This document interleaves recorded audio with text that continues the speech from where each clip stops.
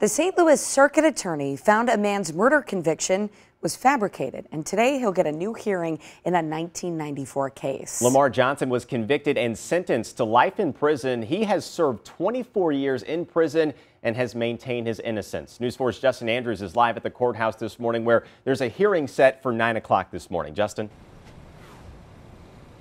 Yeah, prosecutor Kim Gardner is set to ask a judge for a new trial right here at the courthouse later today. The jaw dropper in this is that Gardner questions how one eyewitness can identify Johnson as the shooter, even though the gunman was wearing a full black ski mask. On top of that, her report finds the only eyewitness was given $4,000 in payments. Her office uncovered physical evidence of compensation that the defense team was unable to obtain. That is now a key piece in this case.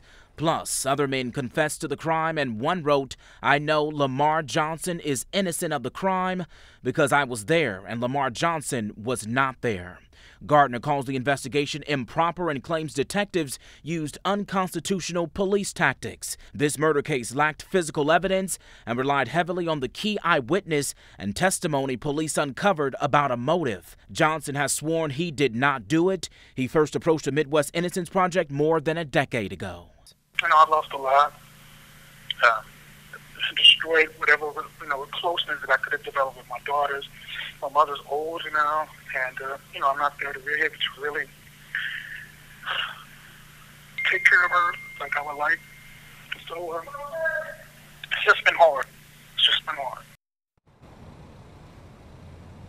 All right, so this will all be sorted in court today later at 9 o'clock this morning. We do know this, that this could set a chain of legal events, and that, that is something that his attorneys are hoping that will allow Johnson to become a free man. Again, we'll be following this one closely. We'll have a reporter inside the courtroom later this morning. We are live downtown this morning.